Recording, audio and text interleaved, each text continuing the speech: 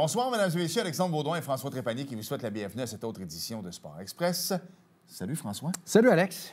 Hey, faut que je revienne sur l'histoire de Martin Saint-Louis 30 secondes. Ouais. Parce que j'entends mes affaires puis ça m'énerve. On Écoute- devrait pas entendre. Ouais, mais non, mais c'est que tu lis des choses jusqu'à là, ça, ça va. Mais tu entends des chroniqueurs qui font la morale à des gens disant c'est sa vie privée, laissez-le faire, nous autres, on cherche pas à savoir. Je vais juste te dire quelque chose. C'est que toi, tu le sais. Fait que tu t'en sac, tu comprends-tu? Fait que ça se peut qu'il y en ait qui courent après ça, puis c'est dégueulasse, soit dit en passant.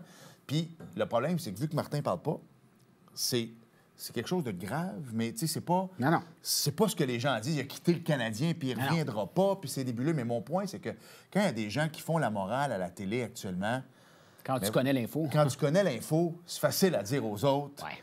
qui cherchent l'info. Absolument. Admettons. Ceci dit, là, il a demandé à ce que ça reste privé. Puis je- de, de jour en jour, je trouve ça cool.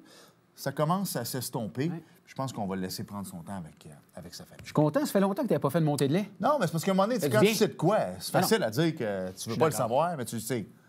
Voilà.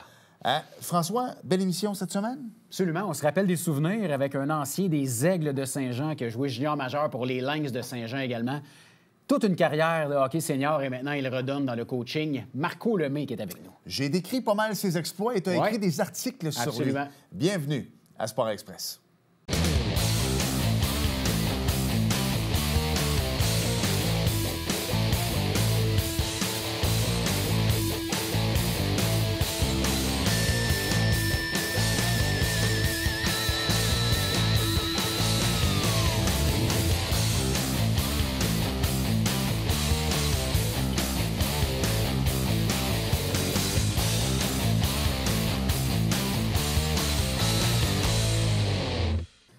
Tabarouette. Là, j'ai comme l'impression.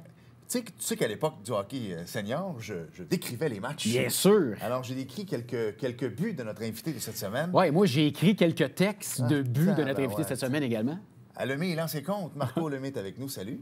Bonjour. Salut Marco. Hey, ça te fait bien les, cou- les couleurs du Collège français? Euh, Merci. Ils ont sorti un espèce de petit bleu. euh, J'aime ça. Ouais, J'aime ça. merci. Hey Marco, tu es impliqué dans le hockey depuis longtemps. Tu es une. Euh, Je n'irais pas dire une, une légende du hockey senior, Ah, mais c'est un pas peu ça. Mettons que Plus d'un point par match, Ouais, euh. ouais, dans, dans le hockey senior, qui à l'époque s'appelait pas la Ligue nord-américaine. Ça s'appelait comment, non? Semi-pro. C'était le vrai bon Il semi-pro. y avait un semi-pro, oui. Euh, toi, il fallait faire attention comment on arrivait au travail le lundi matin, parce que tu étais à une époque où est-ce que. Ouais, je donnais pas ma place. Non, c'est ça, parce que j'ai regardé tes statistiques. Il y a même une année où tu as pas loin de 130 minutes de pénalité, puis tu étais un excellent joueur de hockey. Tu vas me l'expliquer, celle-là. C'est quoi? C'est que les gars t'essayaient? Euh, non, mais moi, tous les moyens étaient bons pour gagner un match. Fait que c'est sûr qu'il y a des fois que, j'allais un petit peu euh, au-delà de la, de la légalité. Mais, tu sais, euh, le hockey, dans ce temps-là, ça demandait un peu plus de, de pression. Puis moi, j'étais j'étais le style à, à tout faire pour, euh, pour mon équipe. Tu sais, puis on va y arriver tantôt parce que tu es ici, puis on va parler de hockey, de hockey mineur, parce que ça bouge beaucoup. Là. Euh, Des T'es fois, très impliqué. T'es très impliqué. Tu es entraîneur-chef dans le M15-3 au niveau du collège euh, français. Euh, maintenant, on appelle ça M15-3 tout court, mais c'était anciennement euh, M15-3 relève. là. Ils ont enlevé le mot relève. Toi qui es un intense, tu l'as dit d'entrée de jeu, tu peux plus coacher aujourd'hui comme on coachait dans les années 2000, 90. Y a-tu fallu, puis je sais que tu as pris plein de cours parce que pour entraîner dans le M15-3, c'est les, les formations, les formations, les formations. Y a-tu fallu que tu fasses une introspection quand tu étais venu derrière le banc? Euh, oui et non. Oui et non. Euh, oui, tu sais, oui, je suis pas le même entraîneur que quand, que, mettons, exemple, il y a 15 ans. Mais sauf que, tu sais, moi, les gars, ils savent. Moi, c'est primordial. C'est que, c'est le plaisir puis le travail. Souvent, les entraîneurs d'aujourd'hui, ils, souvent, souvent, ils dissocient ça. Moi, le plaisir, il va avec le travail. Puis la passion, moi, je dégage la passion, être sur une glace avec les jeunes. Fait que, moi, oui, je me suis beaucoup amélioré, mais je suis pareil intense avec les jeunes. J'aime autant être sérieux avec les jeunes, puis les jeunes, ils, ils le ressentent, ça. Comment ça a commencé le hockey pour Marco Lemay? Ça a commencé à quel âge, tout ça? Puis quand est-ce, quand est-ce que tu as réalisé ou tes parents ont réalisé que tu avais quand même un certain talent? Parce que tu as joué junior majeur, tu as joué, tu as eu des bonnes statistiques partout où tu es passé. Comment ça a commencé la passion du hockey? Euh, tout petit, moi, je viens de, je viens de Charlemagne, une petite ville. Céline? Oui, Céline. Je viens de Charlemagne. Euh, j'ai moi, gradué mon hockey mineur. Euh, tu sais, on remonte, on, on remonte au, au lieu de 45 ans. À l'époque, on faisait une patinoire extérieure, puis on s'amusait, on s'amusait à l'extérieur. Fait j'ai toujours joué la catégorie la plus élevée. qui m'a amené, à, évidemment, à 3 avec les Régents. Dans ce temps-là, c'était les Régents, Laval, Laurentides, Ouais. de la Nodière. Que la grosse, le- cette année-là, la grosse, euh, la grosse rivalité, c'était nous autres, les Régents, contre les cantonniers de Magog, Ouais. qui avaient un certain Yannick Perrault et euh, Pierre Sivigny, qu'on avait, nous autres, gagné, éliminé les, les, euh, les cantonniers en finale, qu'on s'était rendu, euh, dans ce temps-là, ils appelaient, ils appelaient ça la Coupe Air Canada. Ouais. J'ai encore mon chandail euh, Team Québec euh, à la maison. Puis on, avait par- on avait perdu en demi-finale. Puis après ça, j'ai été drafté junior majeur du Québec. Ouais. À l'époque, moi, il n'y avait pas aucune équipe vraiment très, très loin. C'était pas comme aujourd'hui. Moi, dans le fond, la seule équipe qui était loin, c'était les Saguenayens. Fait que moi, j'avais été repêché par le collège français du regretté euh, Yvon Penneau. Ouais. Euh, j'ai passé là une saison. J'ai eu deux grosses blessures, déchirure un genou, euh, ligament croisé. Euh, j'ai eu deux grosses blessures. L'année d'après, le hockey, c'est un peu comme ça. Tu sais, euh, souvent, il, il abdique un petit peu vite. Mais tu sais, la vie est faite comme ça. J'ai été échangé, euh, à l'époque, c'était les Lynx de Saint-Jean. Ouais. Fait que j'ai été échangé aux Lynx. C'est là que j'ai connu euh, ma conjointe encore aujourd'hui. Qui est pharmacienne ici dans la région. Oui, qui, tu sais, ça fait encore, ça fait déjà 35 ans que j'étais encore avec. L'amour du junior, Alex. Est-ce que c'était une fille d'Arena? Là, je vais pas en la... Est-ce qu'elle s'était toujours dit, elle, dans sa vie, jamais un joueur de Parce que souvent, c'est ça, hein? Quand dans des villes comme ça, tu as un hockey Ah, ouais, junior, hein? tu dis tout le temps, moi, les gars de hockey, jamais. Puis est-ce que c'était ça? Non, non, c'était pas vraiment, c'était pas vraiment une fille d'aréna. Euh, tu sais, par la force des choses, oui, tu sais, elle venait, elle venait au match. Enco- encore aujourd'hui, elle me laisse vivre ma passion. Parce que, je suis entraîneur, puis je, donne beaucoup de cours.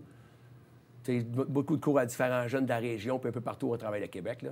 Marco, je veux qu'on revienne sur ton passage. Co- comment ça a été de jouer junior majeur ici à Saint-Jean-sur-Richelieu? Parce que tu l'as vu depuis euh, peut-être deux ans. On entend des rumeurs, peut-être le retour d'une équipe junior majeur à Saint-Jean, nouvelle amphithéâtre. Est-ce que pour toi, ça a été une expérience bénéfique de jouer du junior majeur ici à Saint-Jean? Euh, oui, oui. Écoute, moi, euh, mon année que j'ai joué à Saint-Jean, honnêtement, on avait une belle, on avait une belle équipe. Je sais pas si vous vous souvenez à l'époque, euh, Yann Austin, Pat Lebeau, euh, François Leroux. On avait, Ouais. on avait une bonne équipe, puis l'aréna était aux trois quarts plein. Honnêtement, ça me fait un peu de peine que le Colisée, présentement, n'a pas vraiment d'équipe, euh, pour, pour le Colisée. Là, là, juste, juste le junior 2A. Juste le junior 2A, présentement, les Patriotes. Ouais. Tu sais, il y a tu sais, quand même 400 personnes au match pour des juniors 2A. Mm-hmm. Tu sais, fait que, tu sais, je sais qu'il y a de quoi à faire avec, tu sais, le Saint-Jean-sur-Richelieu, la ville de Saint-Jean. La tu sais. 11e plus grande ville au Québec devrait avoir une équipe d'envergure de la 11e plus grande ville. On Je suis d'accord avec vous autres, puis on devrait avoir des infrastructures. Tu, tu fais la, la tournée du Québec un peu, moi aussi, Oui. avec le hockey 3A. Puis quand tu t'en vas un petit peu plus loin, c'est pas normal que dans la région de Montréal, tu vas me dire, l'Armada de Blainville-Boisbriand, là, je touche pas à ça. Mais faut que tu ailles à Gatineau pour le Slush Poppy. Il faut que tu ailles à Trois-Rivières pour le Colisée Vidéotron, pas le Centre Vidéotron. Québec, ils ont, le, le- le- le- tu sais, ils ont, des, ils, ont des, ils, ont, ils ont de beaux endroits. Mais dès que tu arrives dans la région de Montréal, sur la rive sud, le plus gros, je pense que c'est le Colisée Jean Béliveau. Puis Tabarouette, ils ont été. euh, Le Collège français n'a pas joué là pendant le- la moitié de la saison au complet parce que c'était en rénovation. Oui. On n'a pas de, de- de D'amphithéâtre. belles infrastructures. Ça n'a pas de bon sens. C'est pas normal qu'à Saint-Jean-sur-Richelieu, c'est le Colisée, là, je veux dire, t'as- je l'aime beaucoup, mais il faudrait lui donner un peu d'amour. Oui, puis surtout que, tu sais- tu sais, que, regarde, je parle pas contre personne, mais tu sais, surtout que, tu sais, exemple, la mairesse qui est en poste présentement, sais, qu'on dit qu'on est en haut de 100 000 habitants à Saint-Jean, il faudrait juste donner, les jeunes, ils, demandent juste ça. Puis si, mettons, exemple, le hockey part en bas, puis qu'à la fin, on arrive que les gars, ils savent que, oh, hey, y a- un collégial 3, oh, il y a un junior 3. Pas nécessairement le junior majeur, mais qu'il y ait au moins une équipe que les jeunes vont pouvoir s'identifier quand ils sont jeunes. Ça devient des modèles. On Ça veut devient- devenir ça devient- comme eux. C'est ça. Moi, quand moi, à l'époque, quand j'étais petit, là, la seule affaire que je voulais, c'était quoi? C'était de jouer pour les Régents, Laval, Laurentides, la Nodière. Moi, mon but, c'était ça. Là, les, les gars de Saint-Jean, ici, qu'est-ce qu'il faut qu'il faut absolument que leur but, c'est d'aller au collège, exemple, au, au collège Charlemagne. Fait que, tu sais, c'est- juste ça. Moi, je pense qu'à Saint-Jean, il y a de quoi à faire pour qu'on aille, surtout avec le Colisée. Hey, c'est tellement beau. Moi, j'étais allé, récemment, j'étais allé un petit peu au Colisée, j'ai donné euh, une coupe de pratique. Puis justement, j'ai parlé au euh, un des le propriétaire du, du, restaurant, tu sais, que lui, il a embarqué beaucoup là-dedans sur le Facebook, c'est ça, puis tu sais, il prend ça à cœur, tu sais, le, le restaurant, je le reconnaissais pas que moi à l'époque que je jouais là, tu sais, il a mis des banquettes, il a mis des, des cadres, tu sais, c'est vraiment hot que je pense qu'on serait temps de donner un, un petit coup puis emmener de quoi, emmener une équipe à Saint-Jean. Je pense que moi je pense honnêtement, moi je pense que les jeunes puis la population mériteraient d'avoir une équipe On aime ça entendre ça. On aime ça entendre ça, puis on a eu le débat avec les forts à Chambly. À un moment donné, bon, euh, c'est parti cavalièrement. Puis, ah, c'est du junior 3. Non, non, les jeunes, là, le kid qui joue Pee-Wee 3A, qui joue Pee-Wee 2A, veut jouer, lui, un jour pour les forts. Arrêtez, là, peut-être que nous, on trouve pas ça hot, puis Hollywood, le junior 3 mais les kids connaissent ça.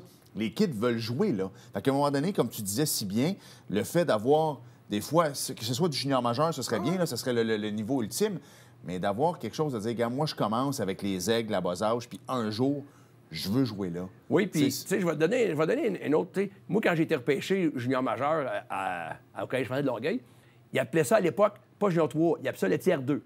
ça, c'était comme, la, c'était comme la, la catégorie. La, dans le tiers la 2, catégorie un petit peu plus basse. Puis celui qui était encore propriétaire du, du junior 3, M. Petroni, Ben ouais. il était encore. À l'époque, c'est lui qui avait parti ça, le tiers 2. Puis les jeunes qui jouaient tiers 2, là, quand on réussissait à les faire monter une pratique avec nous autres au 3, les jeunes capotaient. Fait que les jeunes, ils s'associaient à ça. Là. Au Ils- majeur, Au ils voulaient absolument oui. venir avec nous autres.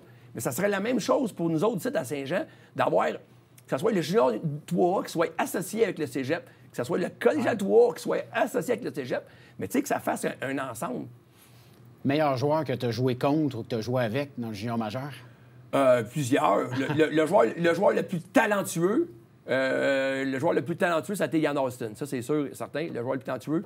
Euh, Yann, Qu'est-ce qu'il a fait qu'il n'a pas percé, lui? euh, Yann, c'était pas le gars le plus, euh, le plus assidu, Plus vaillant? plus vaillant, mettons, euh, hors glace, travail. Tu sais, j'ai vu Yann, euh, des fois, arriver le samedi matin à pratique.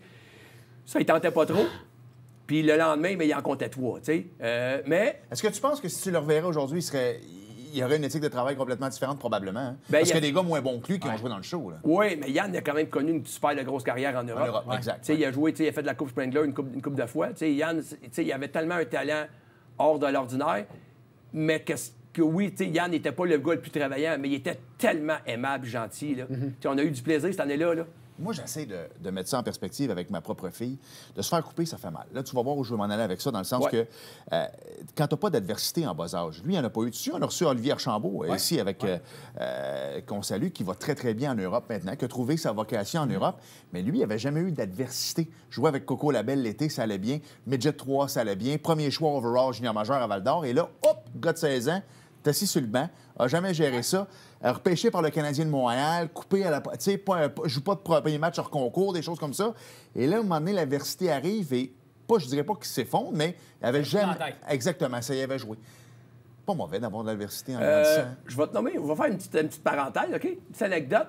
Euh, moi, j'ai ma grosse gang de 2005 que j'entraîne depuis plusieurs années, OK, qui ont été draftés l'année passée à NHL, dont un, que je m'en cache pas, c'est mon favori, il est bien, bien ami avec mon garçon, Mathieu Catafort, Ouais. qui a été repêché troisième ronde l'année passée. Qui a signé avec Vegas cette année. 77e au total.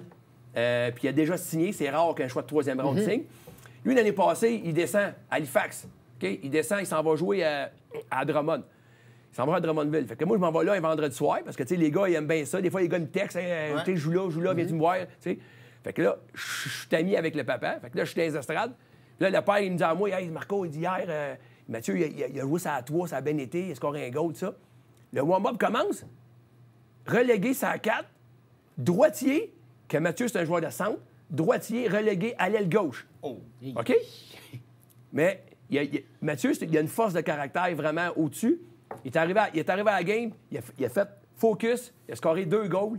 Euh, Halifax a gagné le match. Mais tu sais, c'était plus ça que moi. Je me disais, regarde, les jeunes d'aujourd'hui, il faut, faut faire attention. Tu sais, exemple, tu sais, le, le parent, il dit, ah, lui, il joue pas sur le bon bord, le gars joue à gauche, le gars joue au centre, ça. Mais tu sais, lui, il a pris ça comme, euh, comme un défi, puis il est arrivé à la game complètement à l'envers. Fait que c'est pour ça que de temps en temps, des fois, jouer dans des positions un peu différentes, ça va peut-être t'aider pour le futur. Mais c'est bon d'avoir des exemples comme ça parce qu'il y en a plusieurs qui se seraient effondrés. Ben, écoute, en même temps, nous autres, des matchs hors concours, des fois, une petite fille ou un petit gars qui dit Hey, je joue pas au centre. OK, donc c'est beau. Fait que tu es en train de me dire, toi, qu'en fin de match, à la Coupe Chevrolet, euh, on est en désavantage numérique où le- le- l'arbitre, le, juge de ligne, dit il faut changer le joueur de centre. Tu iras pas, toi, parce que tu veux pas jouer au centre. Voyons, c'est le temps de le faire là. Là, on est en match hors concours. Perds-la, ta mise en jeu, on va la travailler plus tard. Mais des fois, sortez de votre zone de Ben, confort. moi, c'est un peu comme moi. Comme moi, mon M15 3A, tu sais, j'ai parti l'année un, un peu, un peu tranquillo. Euh, moi, j'implante un système un peu, un peu différent des autres. Puis je travaille. tu sais, C'est c'est-tu parce que c'est mon âge que j'ai fait que j'ai beaucoup d'expérience? Euh, je travaille vraiment différent des autres entraîneurs. Moi, c'est beaucoup, euh, beaucoup intensité, beaucoup cardio, beaucoup vitesse. Ça, c'est mon système. C'est implanté. Tout le monde le sait. Puis, en fin de match, là, on, commence à gérer la fin de l'année puis les playoffs qui s'en viennent. Mais en fin de match, moi, j'ai un défenseur gaucher qui joue en avant, à droite, en fin de match, parce que lui, il est tough sur le puck, il bloque des shots, il va se sacrifier pour l'équipe. Puis en plus, c'est- il a une bonne shape pour un niveau bantam. Fait que, tu sais, chaque joueur a des rôles, mais tu sais, que tu sois à gauche ou à droite, il faut que tu sois prêt à toute éventualité, ça, c'est sûr et certain. J'aime ça entendre des choses de même. On s'arrête. Juste de même, tu à peu près 2-3 ans avec Céline. L'as-tu déjà croisé à Charlemagne? Ouais, les doigts croisés quand j'étais jeune. euh, mon frère était à l'école avec, quand il était jeune, à Charlemagne. Euh, tu sais, évidemment, tu sais, moi, ma, ma- ma mère, mon père est décédé, mais ma mère est encore, elle vit encore à Charlemagne, la même maison familiale que, que quand j'étais jeune. Euh, tu sais, moi, moi, Charlemagne, c'était une petite, petite ville quand j'étais jeune, tu sais, 2000, 2000. Tu sais, j'ai- des amis qu'on on, on jouait dans la rue. C'était le bon temps, tu sais. Puis ma petite ville, mais tu sais, moi, à mon époque, à moi, on est trois gars qui est sorti de là, qui a été drafté junior majeur du Québec, puis qu'après ça, mon chum Dan Gauthier, que lui, à l'époque, avait été drafté par les Pingouins de Pittsburgh, un petit gars de Charlemagne. C'est sais, pareil, hein? Les quatre plus gros à être sortis, il y a trois gars dans le junior majeur, puis une chanteuse, juste un, Ouais. un. C'est quand même pas pire une, fois- une ville de 2000. Ça mérite d'aller à la pause, ça. On s'arrête et au retour, on poursuit avec Marco. Tellement intéressant. Bougez pas.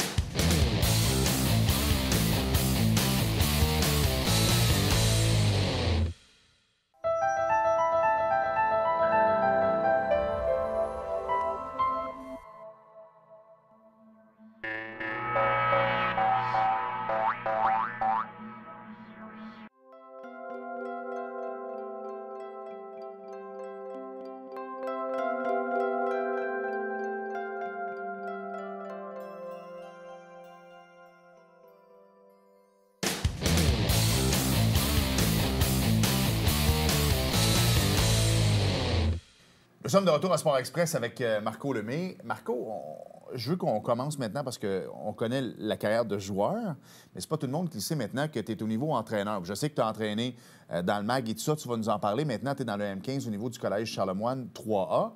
Mais cette passion-là est arrivée comment? Parce que c'est bien beau d'avoir des enfants qui jouent Ah au hockey, mais ça te prend une passion pareille là, pour aller te geler le derrière sur une glace. Mag, quand c'est long. Quand tu as joué du gros hockey pour l'avoir fait, barouette, là, tu te dis, j'ai 15 sessions de même d'une heure et demie avec des. Ça prend une passion, une vocation. Là. Ben, c'est sûr que tu sais, mon garçon a commencé à, à mettre les patins au niveau mag. Tu sais, je venais de prendre ma retraite du, du hockey. Fait que je dis, garde, je vais m'impliquer tranquillement. Fait que les deux premières années, ça s'est fait assez, assez tranquille. Puis la première année novice, là, là, il y a deux parents de la région de Saint-Jean, tu Francis Giroux et Dominique Coutu. Ils m'ont approché un petit peu. Ils ont fait ça, une petite équipe de. À l'époque, ça s'appelait les Vipers. Ouais. Une petite équipe de 3 d'été. Fait qu'on a pris juste des gars de la région. Des petits gars de Saint-Jean. 8, 9, 8, 9, 10 gars. Puis on, on se promenait, nous autres, 4-5 pratiques par semaine. Tu sais, puis on a fait une coupe de petits tournois. Puis là, hop, rendu à la tombe, là, c'est là que là, à un moment donné, il y a un tournoi à Sainte-Julie, euh, Denis Gauthier, que, le monde, que le monde connaît d'RDS, que son garçon est très bon aussi. Là, à un moment donné, hop, là, il y a avec un gars de Repentigny, M. Pascal Lebeau, que son garçon aussi était bon. Là, ils, m'ont approché parce que Michael, Michael, qui est mon garçon, tu sais, à tombe, c'était quand même un bon joueur. Fait que là, on va faire une équipe un peu d'All-Star, des jeunes Québécois, des jeunes, des jeunes de 2005, qu'on va, on aimerait ça faire des tournois à l'extérieur. Que ce soit le show Minnesota, Triple Crown à Chicago, Triple Crown à Toronto, tous des gros promenés, tournois. là. On s'est promené. Fait que j'ai- j'ai fait. Question de faire des levées de fonds, parce que c'est pas donné, ça, là. Non, puis tu sais, j'ai- j'ai été, tu sais, j'ai été exemple, on avait ratissé assez large. On avait pris, tu sais, 15 joueurs. Au début, on avait pris 15 joueurs. Puis sur ces 15 joueurs-là, juste une petite, une petite parenthèse, ces 15 joueurs-là, présentement, il y en a 13, tu sais, qui sont juniors majeurs du Québec.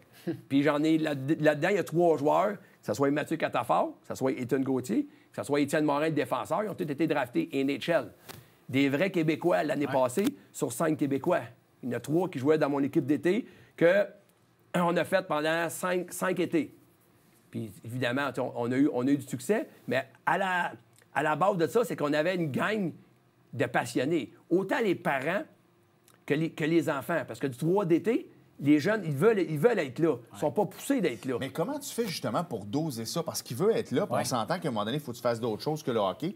Jusqu'à quel point tu vas être capable de bien les entourer pour faire autre chose? Parce que le hockey, c'est bien, mais tu en as vu comme moi des jeunes qui arrivent. Tu sais, on voit tout le temps les Gauthier de ce monde que ça a bien fonctionné, mais il y en a d'autres qui arrivent à 17 ans qui font comme garde.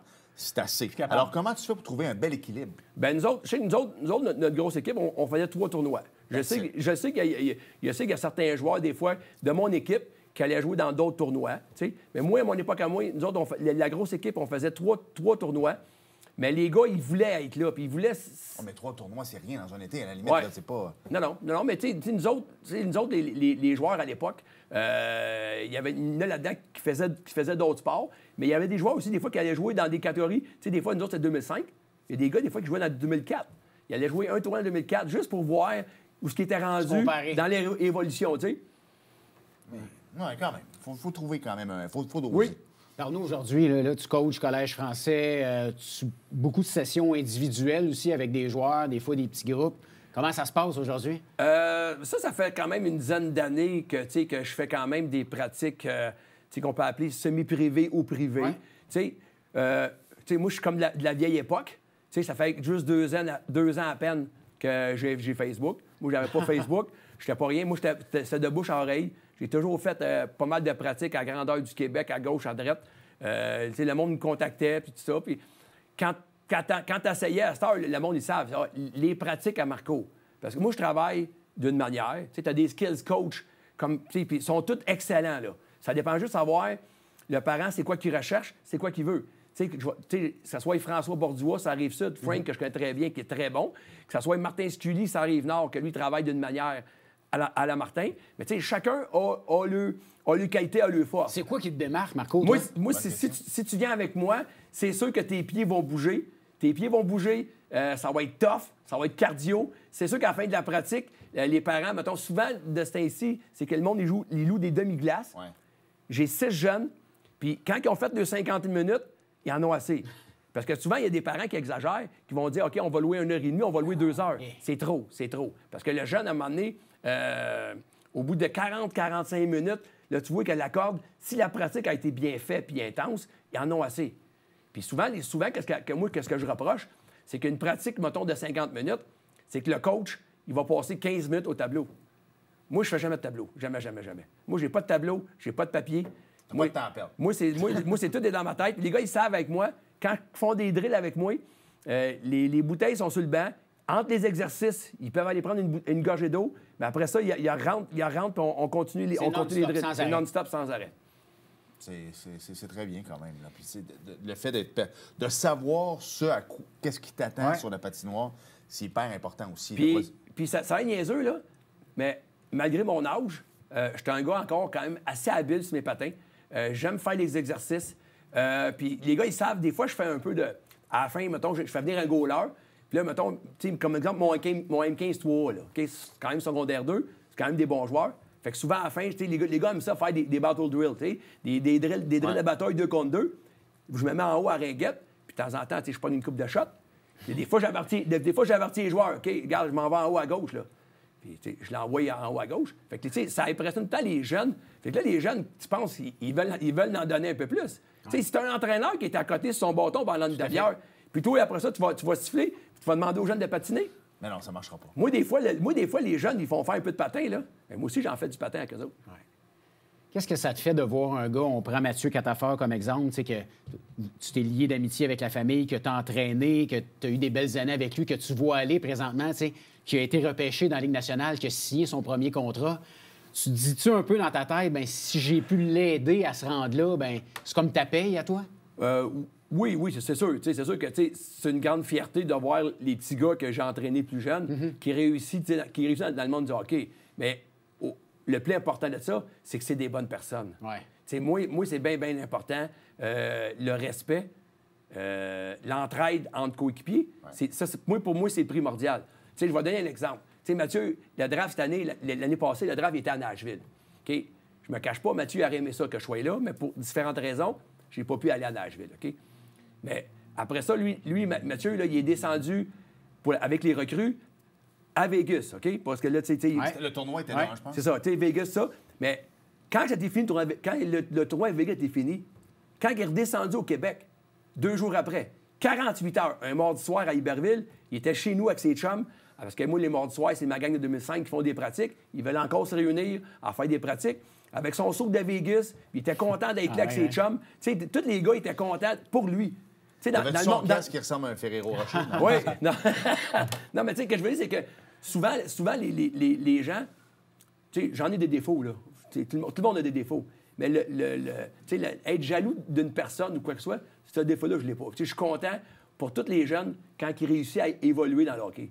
En même temps, des, des- des Québécois qui réussissent à faire leur niche, c'est de plus en plus difficile. Alors, quand on en voit un qui réussit, ben, à un moment donné... euh, C'est ça, tu sais. Puis même, même Étienne Morin, qui était repêché à Calgary, Étienne, euh, il était interviewé à Calgary après son, après son repêchage. Puis, euh, évidemment, tout le temps la même question. Ah ouais, là, euh, qui c'est qui t'a aidé? Mais tu sais, Étienne, en anglais, le, le papa, il m'a envoyé tout de suite le message. Hey, tu sais, Marco, il, vient de, il sais, il a parlé de toi, que tu as été un, un entraîneur tu sais, qui l'a- marqué, tu sais.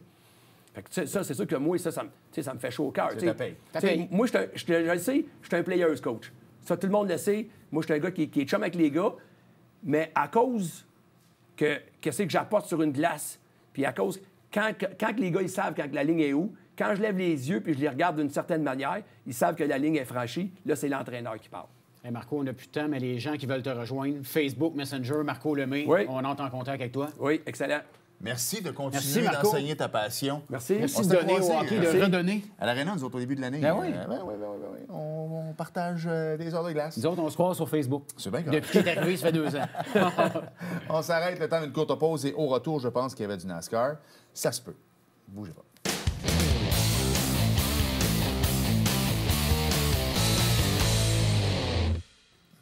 Nous sommes de retour à Sport Express. Et Alex, parle-nous donc un peu de NASCAR. Ben oui, il y avait du NASCAR, c'était le Food City 500. Oui. Euh, hey, Richard, j'ai écouté un peu. Il manquait de monde dans les estrades. Je trouvais qu'il n'y avait pas grand monde Ah en fin de semaine. Ouais, écoute, euh, Denis Hamlin a terminé premier, Martin Truex Jr. deuxième et Brad Keselowski a terminé troisième.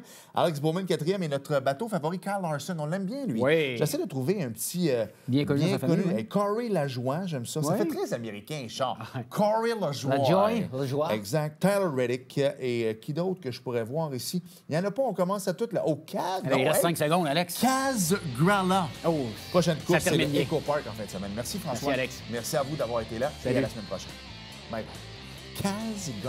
j'adore.